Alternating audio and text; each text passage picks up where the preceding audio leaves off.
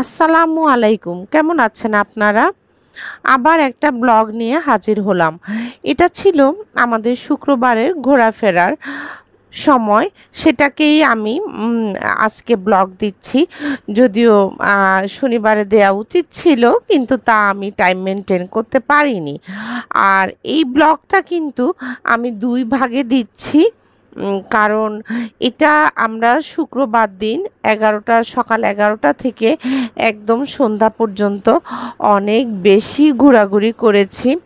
এটা হচ্ছে আমরা পদ্মা সেতু দেখতে গিয়েছিলাম মাওয়া ঘাটে আর লাস্ট সিক্সটিন ডিসেম্বরও আমরা গিয়েছিলাম, কিন্তু তখন এত বেশি জ্যাম ছিল রাস্তায়, যার কারণে আমাদের ঘোরাটা অতটা আমাদের স্যাটিসফ্যাকশন আসেনি এবং আমরা অতটা ভালোভাবে ঘুরতেও পারিনি স্পিড বোটেও চড়তে পারিনি, যেতে যেতে রাত হয়ে গিয়েছিল, পুরো দিনই আমরা জার্নিতে ছিলাম। যার কারণে এবারে কিন্তু আমরা একদম সকাল সকাল বেরিয়ে গিয়েছি আর এবারে অতটা গ্যাদারিংও ছিল না। আর আমরা এবারে শুক্রবারে ফ্রাইডেতে আমরা অনেক বেশি এনজয় করেছি। স্পিড বোটে চড়েছি একবার ইঞ্জিনের নৌকায় চড়েছি এবং আমরা তাজা তাজা মাছও কিনেছি কয়েক রকমের এবং চরে গিয়েছি, গতবার চরেও যাওয়া হয়নি। পদ্মা সেতুতে এর আগেও আমরা গিয়েছি, তখন কিন্তু আরও এক বছর আগে, তখন কিন্তু এত ভালো করে পদ্মা সেতু এত দূর কাজ আগায়নি। যাই হোক, আবার বাচ্চাদের নিয়ে আমরা ঘুরতে এসেছি। এখন যে সময়টা আমি দেখাচ্ছি, তখন কিন্তু বেলা প্রায় এগারোটা। আমরা পৌঁছাতে পৌঁছাতে এগারোটার মতো বেজে গেছে। আমরা বাসা থেকে নয়টার পরে বেরিয়েছি। আর খুব বেশি টাইমও লাগেনি পৌঁছাতে। তো প্রথমেই স্পিড বোর্ডে চড়বো কিন্তু বেবি জন্য একটু পানি নিয়ে নিয়েছি। এখন আমরা স্পিড বোটে চড়ার জন্যই যাচ্ছি। প্রথমেই আমাদের টার্গেট লাঞ্চ করার আগে এবং যেহেতু জুমার দিন, অবশ্যই আমার হাজব্যান্ড এখানে আমাদেরকে হোটেলে খাওয়ার জন্য রেখে রেস্টুরেন্টে, তারপর সে নামাজ পড়তে যাবে। তো সবার প্রথমেই আমরা স্পিড বোটে চড়ে নিচ্ছি। পদ্মা সেতুটা দেখে আসছি। এটাই আমাদের টার্গেট ছিল। প্রচণ্ড রোদ, অনেক গরম লাগছে কিন্তু এইখানে। রোদ হোক আর যাই হোক, স্পিড বোটে বা নৌকায় চড়ার সময় তখন কোনো কিছুর দিকেই আমার তাকাতে ইচ্ছে করে না। কারণ আমি আগেও আমার অনেক ব্লগে বলেছি, এটা কিন্তু আমার খুবই পছন্দের যে আমি স্পিড বোটে বা নৌকায় চড়ব, যদিও আমি সাঁতার জানি না। এই তো অনেক মানুষ গ্রামে যাচ্ছে, আবার অনেকেই আমাদের মতো ঘুরতে এসেছে। ওপারে যাদের বাড়ি তারা অনেকে ওদিকে এখান থেকেই বোটে করে যাচ্ছে লঞ্চে করে যাচ্ছে। অনেকে বাড়ি ফেরার জন্য, বাড়িতে শুক্রবার দিন ঘুরতে যায় বা শনিবার বা রবিবারে চলে আসে। আমরা স্পিড বোটে উঠে যাচ্ছি।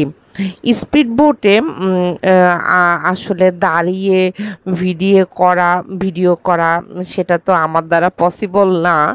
আমার হাজব্যান্ড খুবই সুন্দর করে সে সব ভিডিও করে নিয়েছে এবং পদ্মা সেতুর ভিডিওগুলো ও অনেক সুন্দর করে করেছে। স্পিড বোটে ওঠার সময় ওখানকার পানির আওয়াজ সাইরেনের আওয়াজ আমি আপনাদের কিছুটা শোনাবো। হ্যাঁ, তুমি মোবাইলটা নাও তখন আমি যেখানে লাগবে জুম করে নিবা। তোমার কাছে তোমার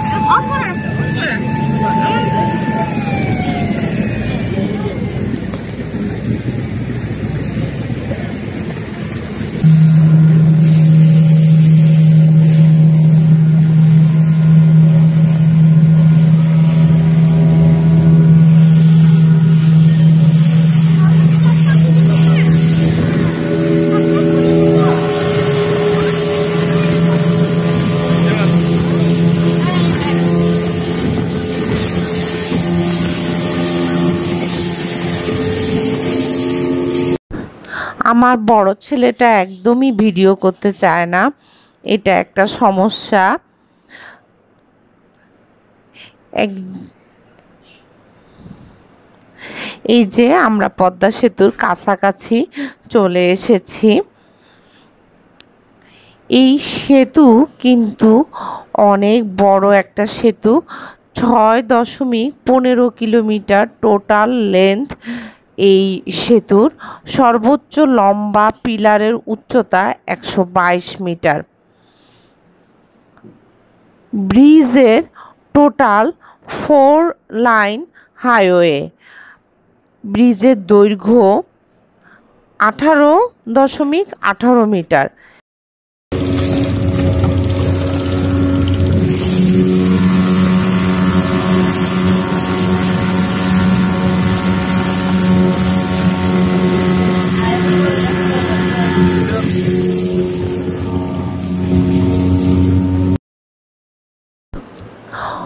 ওই যে দেখা যাচ্ছে, পদ্মা সেতুর অবয়ব। আপনারা অনেকেই হয়তো পদ্মা সেতু ঘুরে এসেছেন, তাই না? কিন্তু আজকে আমার সাথে চলুন, আমরা একসাথে পদ্মা সেতু দেখতে যাই। আর যারা দেখেননি, তারা তো ধারণা পেয়েই যাবেন এবং ঘুরতে গেলে কীরকম কী, কীরকম অবস্থার সম্মুখীন হতে হবে, কীভাবে খুব সহজে সব কিছু ঘুরতে পারবেন, সে আইডিয়া তো আপনারা পেয়েই যাবেন আজকের ভিডিওতে। দৈর্ঘ্যের দিক থেকে এটি পৃথিবীর পঁচিশতম লম্বা সেতু হলেও নদীর উপর এমন দীর্ঘ সেতু, এটাই পৃথিবীর প্রথম। আমরা ধীরে ধীরে পদ্মা সেতুর একদম কাছাকাছি চলে যাচ্ছি। স্পিড বোটে চড়ার কারণে এটা কিন্তু অনেক দ্রুতই যাওয়া হচ্ছে। আবার বিকালবেলা আমি পরবর্তী ভিডিওতে দেখাবো, বিকালবেলা আমরা ইঞ্জিনের নৌকায় চড়েছিলাম।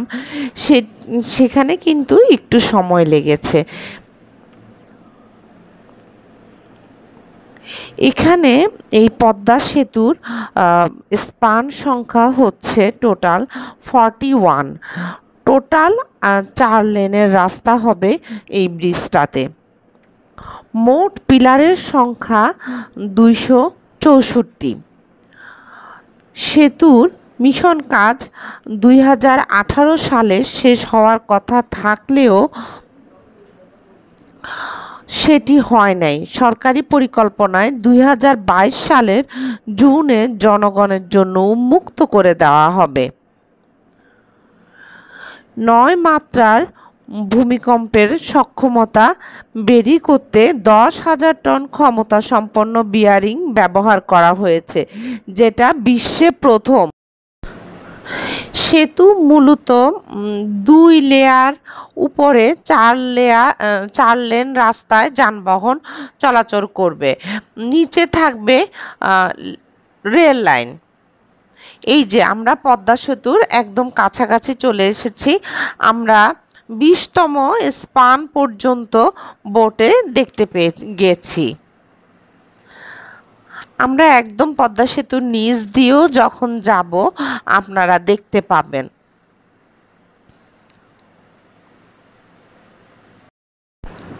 আমরাও বিশ্বমানের সেতু নির্মাণ করছি। এখানে আসলেই মনটা অনেক বড় হয়ে যায়। আত্মবিশ্বাস বেড়ে যায়। উন্নত বিশ্বের সাথে তাল মিলিয়ে একদিন আমাদের বাংলাদেশ বিশ্বের এক উন্নত দেশের রোল মডেল হবে।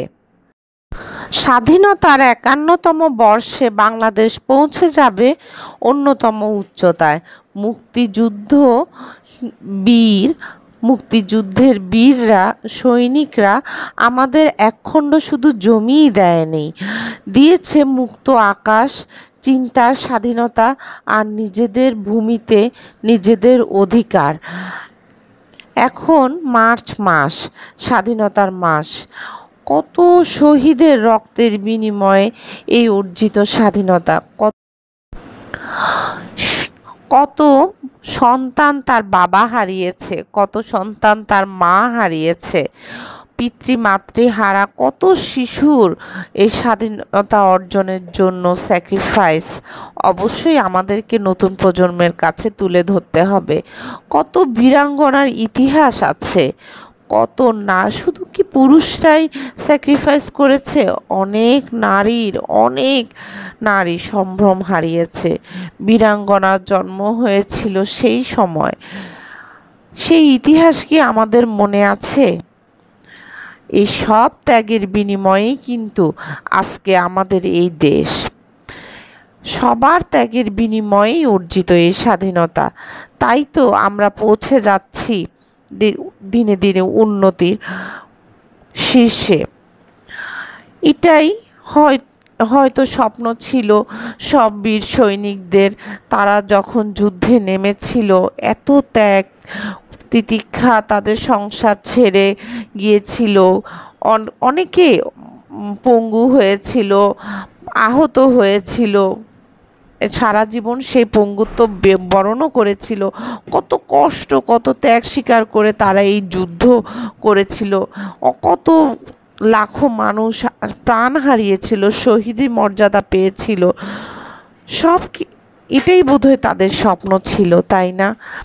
আমাদের কিন্তু দায়িত্ব আমাদের নতুন প্রজন্মের কাছে, তাদের এই ইতিহাস, এই ত্যাগের কথা অবশ্যই তুলে ধরা। আমরা উন্নতির দিকে এগিয়ে যাচ্ছি, কিন্তু আমাদের যে ভিত্তি কিসের মাধ্যমে এই বাংলাদেশ সে ভিত্তি অর্জন, বাংলাদেশ স্বাধীনতা অর্জন করেছে, বাংলাদেশের জন্ম হয়েছে, সেটা কিন্তু অবশ্যই আমাদেরকে আমাদের নতুন প্রজন্মের কাছে তুলে ধরতে হবে। এটা প্রজন্মের পর, প্রজন্মের প্রত্যেকের, প্রতিটা প্রজন্মেরই এটা দায়িত্ব।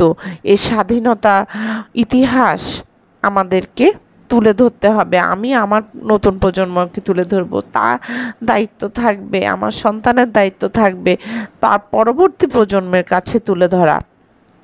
তবেই না শহীদের রক্তের সঠিক মর্যাদা আমাদের দেয়া হবে, তাই না? এই যে পদ্মা সেতুর একদম কাছে চলে এসেছি।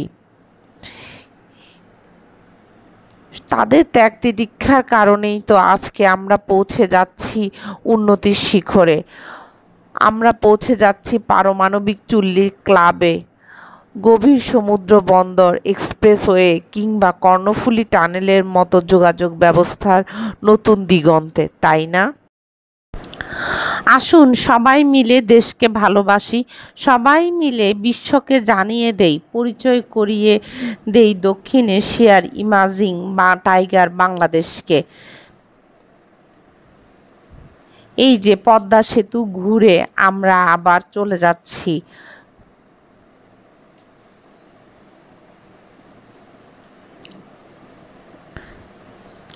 ফিরে যাচ্ছি আমরা আবার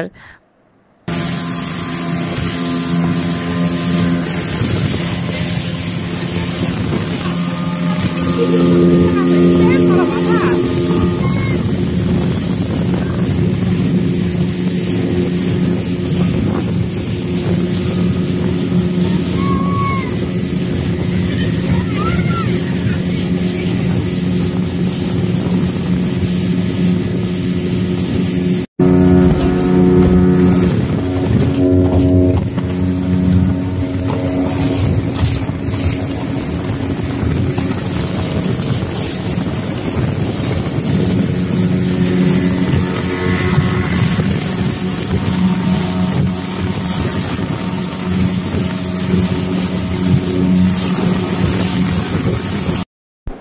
পানির ছলছল আওয়াজটা আমার সবসময় খুব ভালো লাগে। ওই যে বুনো হাঁস উড়ে যাচ্ছে, বক পাখি উড়ে যাচ্ছে, আপনাদের সাথে একটু শেয়ার করলাম তাই সাউন্ডটা আমরা এখন ফিরে যাব তারপর প্রথমে লাঞ্চ করব। আপনাদের সাথে তো অবশ্যই শেয়ার করব। ওই রেস্টুরেন্টেই রেখে আমার হাজব্যান্ড আমরা খাবারে অর্ডার দিয়ে দেওয়ার পর আমার হাজব্যান্ড নামাজ পড়তে যাবে। জুমার সময় হয়ে গিয়েছে। তো যারা ঘুরতে আসেননি তখন আপনারা যখন ঘুরতে আসবেন, বুঝতেই পেরেছেন খুব সহজভাবে কি কি করতে হবে কীভাবে পদ্মা সেতু দেখতে হবে সব কিছুই আপনাদের ধারণা হয়ে গেল, তাই না? আর যারা ঘুরে এসেছেন, তারাও আমার সাথে আরেকবার ঘুরে আসলাম। আসলে কি, ভ্রমণটা তো অনেক বড় আনন্দ। আমার কাছে কিন্তু ট্রাভেলিংটা অনেক বেশি আনন্দময় মনে হয়। তো আর আনন্দ যত শেয়ার করা যায় তা ততই বাড়ে। ঠিক না? আপনারা যারা পদ্মা সেতু দেখতে গিয়েছেন, তাদের ভ্রমণের অভিজ্ঞতা বা পদ্মা সেতু দেখতে গিয়ে আপনাদের কি অনুভূতি হয়েছিল? আমার মতো কি আপনাদেরও স্বাধীনতার শহীদ সৈনিকদের কথা মনে পড়েছিল কি না আসলে কি, আমি ষোলোই ডিসেম্বরে গিয়েছি, তখনও ছিল বিজয় দিবস। স্বাভাবিকভাবে তখন আমাদের বিজয় দিবসের শহীদদের কথা বেশি বেশি মনে পড়ে। আর এখন গিয়েছি মার্চ মাস স্বাধীনতার মাস। তো যাই হোক আপনাদের অভিজ্ঞতাগুলো আমাদের সাথে অবশ্যই শেয়ার করবেন।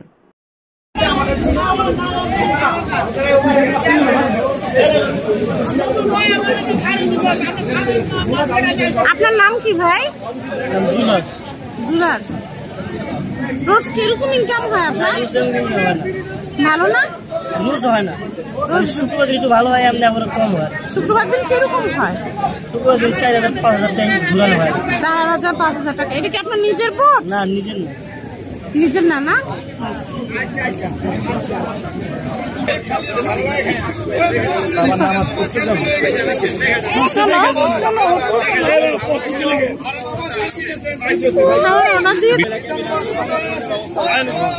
চলো এখন চলো। চলো এই হোটেলে এই হোটেলে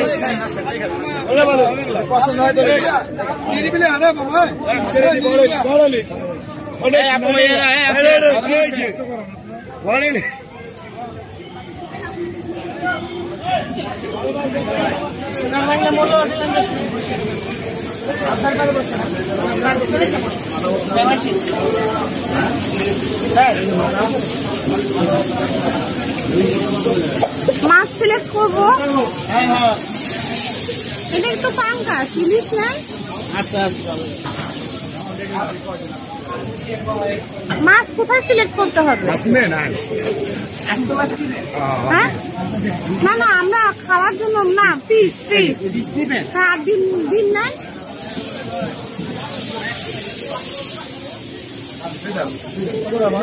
একশো বিশ টাকা আর একশো টাকা যে কোনটা কোনটা? ওই একশো বিশ টাকা একশো বিশ টাকা আর ডিম নাই মাছের আর ডিম আলাদা বিক্রি হবে না? ডিম তো নিব। আপনাদের তো কোনো সিস্টেমই বুঝতেছে না। এটা চার পিস দিবেন বড় দেখে আমাকে বাইছে দিবেন এরকম মোটা মোটা।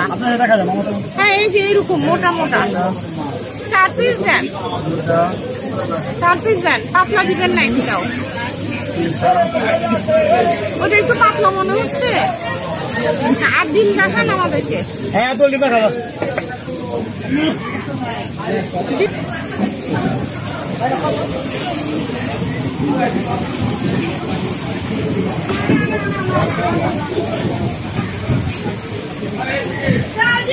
ডিম নাই?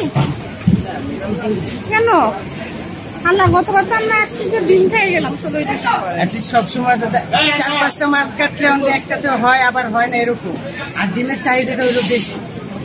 সবাই ডিম খেতে চায় এই কারণে আপনার কি অন্য জায়গা থেকে এনে দিতে পারবেন? না অন্য জায়গা থেকে ডিম সবারই একই অবস্থা। ডিমের চাহিদা বেশি হয়। মাছের তুলনায় মাছ কাটতে কাটতে মাছ পেয়ে যায় কিন্তু ডিম শেষে আর কি কি আইটেম আছে দেখি? ভিতরে অনেক আইটেম আছে। চিংড়ি চিংড়ি কত করে? চিংড়ি মেলা এখানে একশো বিশ টাকা।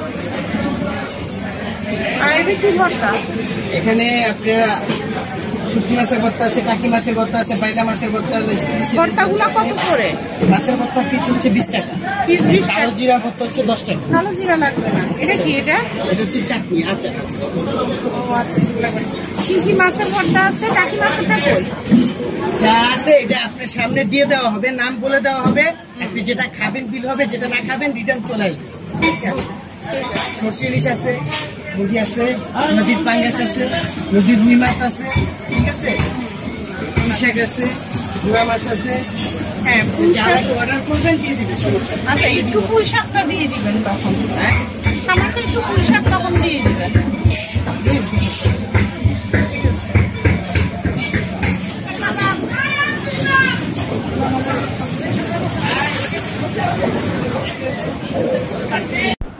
আমরা সোনার বাংলা মোল্লা হোটেল অ্যান্ড রেস্টুরেন্টে খেতে বসেছি। এটা জাস্ট ঘাট থেকে উঠার মুখেই এখানে পড়ে। এখান থেকে বসে কিন্তু নদীটা দেখা যায় খুব সুন্দর করে। তো কাজ আমার হাজবেন্ড আমাদেরকে এখানে দিয়েই জুমার নামাজ আদায় করতে গিয়েছেন। আর আমি খাবার সিলেক্ট করেছি। যেখানেই যাই, সাধারণত অর্ডার দেওয়ার দায়িত্ব আমার। আর কারণ আমি বুঝি বাচ্চারা এবং সবাই কি খেতে পারবে, কে কি পছন্দ করে, এ কারণে খাবারের অর্ডারটা সাধারণত আমি দেই। মাছ সিলেক্ট করা হয়ে গিয়েছে। গতবার ষোলোই ডিসেম্বরে এসেছিলাম যে তখন কিন্তু আমরা মাছের ডিম পেয়েছিলাম। এখন মাছের ডিম পাইনি, তাই আমার বাচ্চারা কিন্তু মাছের ডিমটা খেতে পারল না। মাছের ডিম থাকলে অবশ্যই অর্ডার দিতাম। এই যে আমাদের খাবার কিন্তু চলে এসেছে। আমি প্রথমে বাচ্চাদের খাইয়ে দিয়েছি।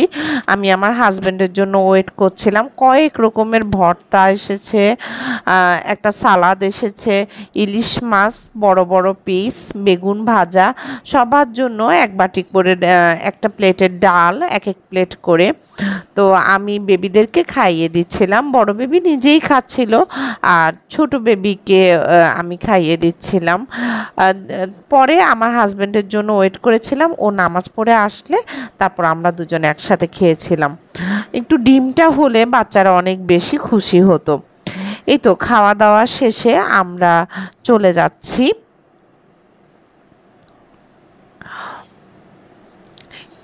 এখানে নদীর পাঙ্কাশ চিংড়ি, বিভিন্ন রকমের মাছ আছে।